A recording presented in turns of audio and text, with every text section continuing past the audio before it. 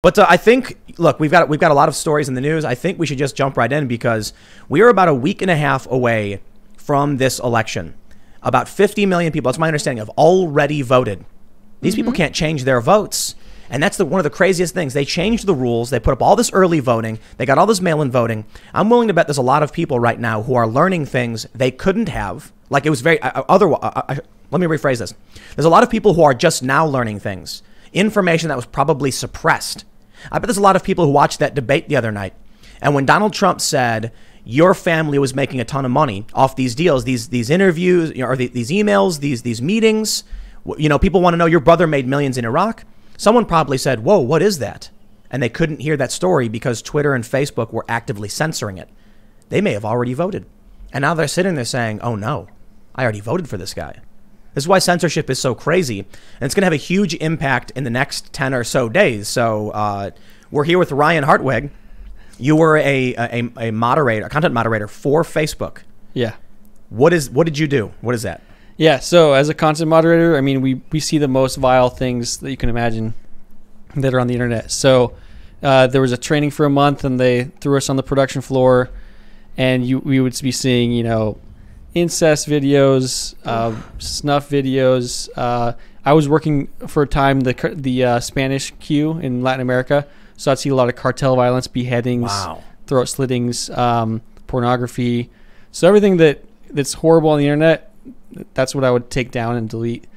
Um, That- that- that- yeah. Does that? So I, I've heard a lot of people get like PTSD from watching these videos all day, every day. I have to imagine that's messed up stuff, huh? Yeah, like there's uh for at the beginning in the Spanish queue, I'd get more like gross stuff, more graphic violence, more cartel violence. But towards the end, when I switched over to the North American side, I didn't think, I didn't get that as much. We would get some child pornography as well. But yeah, like, yeah, some of my coworkers, I was just talking to one the other day who has like PTSD symptoms. But they did have counselors on site, counselors that would be coaching us and giving us techniques.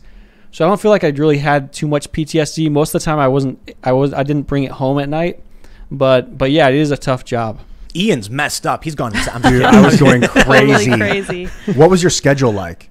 Um, so they had quite a few different shifts. Mine was mainly the day shift, but like I'd hate to have like the night shift, like having to see that kind of stuff because I think your brain's different like during the night shift, how it interprets things. So- So we had we had all shifts, yeah. So you would, what would you do? Would you delete videos, delete posts, or what? Yeah, I would delete videos, I would delete groups, pages. I monitored the Mexican presidential election in 2018. Huh. So there was about 200 of us on the Spanish side, and we were monitoring the Mexican presidential election. But yeah, I could take down whole groups, pages, videos, posts, comments for Facebook and Instagram. First simple question. In your experience, having worked at this company, taking down groups, pages, videos, did you feel there was a political bias Yeah, 100%. 100%. against uh, uh, what political group? Uh, against conservatives. That's just that simple. Plain and simple. Like, it- There it yeah. is. I mean, the first year before the before the uh, Covington law firm did an audit against Facebook, they were blatant. Every time Trump gave a speech, even the State of the Union, they're like, "Hey guys, watch out for hate speech stemming from Trump." Wow. Every, everything he said. And then, I mean, I added in by May of 2019, and we can go by the time go through the timeline at some point. But, but yeah, I mean, I had I made a list before I even decided to reach out to like journalists or Project Veritas. I made a list of about 20 examples of bias that I'd seen, and then that list just grew and grew. And so by the time I went public four months ago, I mean, the list is like I have 30 plus clear cut examples of bias, and this this is why Congressman Matt Gaetz, you know, could take the evidence I gave him, and he was able to give that to the DOJ, and because of that, there's a criminal referral to- to the DOJ for Mark Zuckerberg. Criminal. Yeah, criminal referral. Wha- This so is not wh- civil. This is criminal Why is it criminal? because he this the, the that referral was for alleged perjury. Because in Oh, tw- April wow. 2018, Zuckerberg testified that they do not censor political speech. Whoop. And they do. They sure do. Yeah. so what's an example of some? Did you did you ever personally remove American conservatives? Um, you know, yeah. Uh, so, for example, just a quick example, like um, there was a viral video in summer of 2018 where this Trump supporter got attacked in a restaurant. He was a kid, like 16 year old kid. Was that the splashed in the face thing? Like a I think drink? It might have been. Uh, yeah, I think he might have splashed his drink on him. And so Facebook said, "Hey, well, there was cursing in that video towards a minor, so delete the whole thing." And they even knew it was a viral video. They said, "Hey, we know this is a viral video showing a Trump supporter being attacked, but because there's cursing, delete the whole video." Which kind of fits the policy. It's kind of a gray area in the policy. Like we don't allow cursing at a minor, nor that's person to person. So if I'm on Facebook attacking a minor, cursing at the minor, that's different than just sharing a video with a neutral caption. And in some of those videos, the the curse words were even bleeped out. Wow. So So, how would you describe yourself politically? Do, do, are you conservative? yeah, I think more conservative, uh, more like libertarian. Yeah. So, when you were there, uh, how well? Actually, let me ask: How long were you were you there for doing this job? Yeah, I was there for just under two years. Wow, you were there for a while. Yeah. Didn't it get to you? You're like, I'm deleting this very important stuff that like is important for people to know. Yeah, yeah, it did get to me, and that's why I started making a list on, on my own. Like, hey, here's here's some examples that I saw, but like the policy is very nuanced. So to the average person who's content moderator, it might not stick out, but it might not be too obvious. But like once you dig down into the policy, you're like, hey, this is baked into the cake. It's not just a couple of rogue moderators who are deleting Trump content; it's built into the policy. What about leftist content that you think should have been removed that they told you not to remove or allowed to stay? Do you see a lot of that? So, I, I don't. Uh, there's a few examples of that. I mean, I obviously the most clear cut example I have is there was a post in 2017. Actually, I wasn't there at the time, but I, I could go back and see a post from 2017, and they're clearly saying that Antifa is not a hate organization. But it's funny because in the post they're like, "Hey, there's a bunch of protests being organized in like nine American cities. There are alleged ties to Antifa. Please remember that Antifa is not a hate organization." Wow. So, I mean, yeah, I can definitely see them um, protecting leftist viewpoints when it comes to protests, topless protests, when there's females protesting, or if there was a protest called uh, "Grab Them by the Ballot" that showed a bunch of females naked protesting Trump. Uh, pl- a plan words for the "Grab Them by the." Right, right, the- right. Yeah, the, what Tr- yeah, Trump said. that Trump yeah. line, yeah. And so um, That was allowed. They would allow it. So they make newsworthy exceptions whenever they want to change the policy at their whim. So are they? Are they? Uh, you think they swung any elections? Do you think they swung 2018's midterms or what? The 2018 was a trial run. So, fa- yeah. So Facebook told us, and the word on the street there Facebook was, "Hey, you know, we brought all the content moderation to the U.S., which is very expensive, by the way. It was like a 200 million dollar three-year contract. So they brought they brought all these jobs to the U.S. so they could keep it closer on the on the election." And the the reason they gave was because Russia interfered in the 2016 election. So that was the whole basis for them bringing thousands of jobs to the U.S. Was hey, Russia interfered in 2016. We messed up. We're trying to fix this. But in 2018, yeah, we had a training deck just for the 2018 midterms. Excuse me. Uh, we had yeah, we had a training deck. So they said, hey, flag any content that's election related. If it's meets certain criteria, flag it with a VI, which goes directly to the Facebook queue, to Facebook employees. So and then just this past fall, they were like they they sent us a message saying we urgently need visibility into conversations about the Democratic debates, the Democrat debates when when the primaries. So even stuff that's not violating, they want to know what's going on. We're their eyes and ears, because without us flagging trends, like I was flagging this past January and December, I was flagging like Boogaloo and Civil War was trending. So we we flagged trends to them, and Facebook Facebook yeah. You're not just removing stuff. You're actually like scouting intel and giving them information on what people are talking about. Exactly. Yeah. Interesting. Allum was uh, Allum Bokhari. Uh, for those that aren't familiar, we had him on the show. He's a journalist, a tech, tech reporter for Breitbart, and he's been covering a lot of this. He mentioned there's this program where they're trying to pull people to the center. I, I, did you have you heard about this at all? I think I heard mention of it on the interview on Tuesday. So Yeah. they're trying to pull people to the center. Yeah. Um, well, it, sounds like it, you didn't come across anything like that in your in your work. Dick, actually, when I act, I talked to the policy manager, Sean. I had a lot of conversations with him. He was in charge of, of the. He was a cognizant employee, but he can make decisions for like the entire, uh, you know, all the staff at the Phoenix location. So he could make a decision for a thousand workers about the policy. And so I asked him about that, and he's like, "Yeah, we try to like segregate people, like like-minded people, together to prevent more. Yeah, that's why Well, they're, they're, they're, they're, tribalizing people on purpose. Yeah, Why? he said like to prevent. I don't know, maybe Fights? prevent conflict or whatnot. Because I raised up Civil War to him, the trending Civil War. This was during the impeachment, and Yeah. people were talking about Boogaloo, which kind of means Civil War. Right, right. He's like, "That's great. Like, keep on p- sending me these jobs. Facebook really wants visibility, wants to know what's going on." He's like, "If if Facebook had identified some of these trends in 2016, then they would have been glad to know what the trends were in 2016 when Trump won." The, the, the thing I'm curious about when hearing, you know, Al- Allum was saying that basically what they're trying to do is they were trying to figure out why people who are far right became more moderate, regular conservative, or whatever, and they wanted to find whatever content they were viewing and give them more of it. So I'm wondering if did they ever come to you and say this content clearly breaks breaks the rules?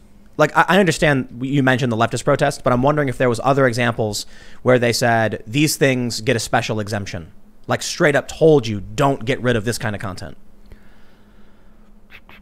Um, I'm trying to think of some examples like that because I know I know they gave newsworthy exceptions, like like if you know there were celebs uh, opposing abortion in Alabama and they said something that violated the policy, then then Facebook gave them a pass. We can go back to that later if you'd like, uh, Mhm. discussing abortion. But so they gave specific newsworthy exceptions to promo- allow you know promotion of leftist ideologies. But as far as what you're saying, like, is there a type of content Like- we're looking for? They, no- they did say look for right wing extreme extremism globally that might Mhm. lead to violence, and they did call out Spain. They said, hey, in Spain there's a separatist movement, separatist nationalist movement involving with the Basques. Look out for violence stemming from that. So in a way, they did try to like by, by asking the content moderators, like thousands of them, to look for certain things. Like we're gonna be, I mean, we we get bored. We see hundreds of posts a day. We probably do 100, 200 jobs a day. So by feeding us information, by telling us to look for certain things, it, it kind of uh, sways things a certain way. Were your coworkers uh, progressive or leftist or what? Some of them were, some of them were, were right wing, some of them were more conservative. There's two guys I worked with who were actually in the original video with Project Veritas, um, Jose Moreno and uh, his his friend, and we um, we had conversations. I sat with them towards the last couple months at work. Um, so there, I mean, there was a pretty diverse group of people, but um, it, all the leadership I noticed were more were more left leaning. Yeah. So Sean Browder, for example, was a huge Bernie Sanders supporter. The reason I ask is because, you know, when I worked for some of these media companies, it seems like their goal is to hire people who are progressive, left leaning, and then let them do their thing. You know, if they, they don't need to tell you to go after conservatives if you're already biased, you know? So I, I, that, that's why I asked, but it doesn't seem like they were doing that. It doesn't seem like they were they were hiring people. Uh, you know, they're just hiring. Regu- it seemed like they were hiring regu- hiring regular people. I think for promotions, I think they definitely did take that into account. And what's crazy too is the summer after I started, that June or July, they actually made us link our personal Facebook accounts to continue working. Wow. Why? And some people were they I don't tracking know. you? Rough. They, they said the excuse was so that we didn't accidentally action our friends' content. Like, what's the probability, Okay. right? Yeah. So it freaked a lot of people out because a lot of people didn't have a Facebook account. But but yeah, I, I applied for a pro- promotion a couple of times, never got it. I applied to the policy team with the same team with Sean Browder, and I have a degree. And a lot of these people were young, like in their early 20s, fresh out of high school, didn't have a degree. So I think for promotions, they definitely did take um, ideology into account. Interesting. Do you feel like they, because of your politics, or just because you didn't fit in with like their culture, they, they didn't give you a promotion or they held you back or what? Yeah, I think I think it's probably the politics about it. Um, I mean, they they t- in the interviews they said, hey, as as a part of the policy team, you're going to be interfacing with the client a lot.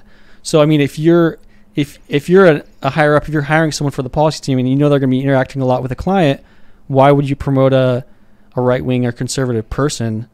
If I mean, if you're trying to protect, It's yeah, it's it's really similar to what I was told when I worked for Fusion. Side with the audience.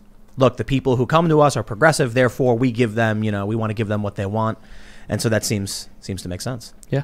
Based on what you were doing, uh, I mean, I asked you already. Uh, do you think they were? You, you, you- do you think they swung an election? Do you think what they did helped the Democrats win in the midterms in 2018? Yeah, definitely, hundred percent. I mean, they just think about it's it's about gathering information and intel. So I mean, you have, for example, th- just this just an example. This past fall, you had the Ukraine whistleblower, Mm-hmm. and Facebook's guidance was to delete that. And I was on the front lines when that happened. Wait, you you were at Facebook yeah, when, so we can't say the Ukraine whistleblower's name on YouTube right now. Such nonsense. Yeah. This is this is active censorship. If we say this person's name, they will cut the feed. I have videos on YouTube that are in this weird state that doesn't exist anywhere else on YouTube. So what, what happens is if you break the rules on YouTube, they'll delete your post. If it's not a rule breaking thing, but it's like borderline and they're like, well, look, they'll do what's called forced private. Your video will, will change to private so only you can see it and you can't change it back. But you don't get a strike. It's not banned. It's just one of the steps they have. What they did to my videos on the Ukraine whistleblower, this is the guy who started the whole impeachment process. They are almost just a graphic on the website. When I go into my videos, I have one video on my main channel, one on my second channel, Timcast and Timcast News. When I go into my videos, these the, the, the videos are there. You can see them, but you can't click anything. When hmm. you when the mouse goes over it, it doesn't change. You know, So you, weird. You know, you- Weird. when, you- when you ho- hover over a link, it like turns into a little finger about to click Yeah. it. Nothing, hmm. and I click and nothing happens.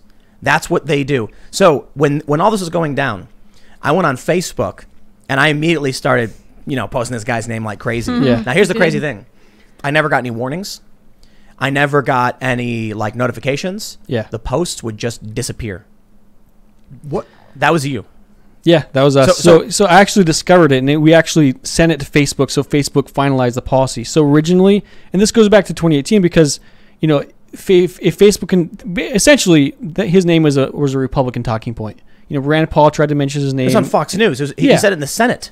Yeah, exactly. A senator named this guy because of his potential ties to Democrats, his lawyers, the statements they made. And there was also a statement made about him that had nothing to do with impeachment or whistleblowing. yeah, You could not say his name no matter what. There was a C SPAN video. A senator, an American senator, on the Senate floor said to the American people, this guy and this guy were overheard saying they wanted to remove Trump. Had nothing to do with the whistleblowing. That video got removed from YouTube. So, so really, it wasn't for to protect him as a whistleblower. It was, it was, it was deleting a Republican talking point. That's what it was, plain and simple. So when we first discovered it, I ran across this job, and I was talking to my coworker Skylar about it, and we're like, "Hey, what should we do? This guy's, you know, a, a whistleblower or whatever." And so we raised it to our local policy team, and and we made they made an interim decision for the next six hours to delete it under our privacy policy because they thought that he was undercover law enforcement. And I have screenshots of that exact same policy. Wait, wait. They, they, they thought the whistleblower was an undercover law enforcement? Yeah. I mean, Yeah. he literally worked for the CIA. yeah. He wasn't undercover. No. And so that was the initial decision from our local policy team. And then f- six hours later, Facebook said, okay, we'll continue deleting it, but we're going to delete it under this generic part of the policy called coordinating harm. So there's nothing in the wording of that policy at all that relates to whistleblowers. Uh, so it was just delete coordinating harm other. So it's just some generic part of it. But I have, you know, conversations. I was recording, filming at the time when I had those conversations with Skylar and my other coworkers. I have a really good analysis of it written up. But yeah, it's you, mind blowing. You were deleting posts. I was deleting all day. So they feed them into our queue. So they do a proactive pull and they pull in so they can search whatever name it is. They pull it into our queue, and all day I'd get like 100 jobs like that. Just delete, delete. Did was did you have a touch screen?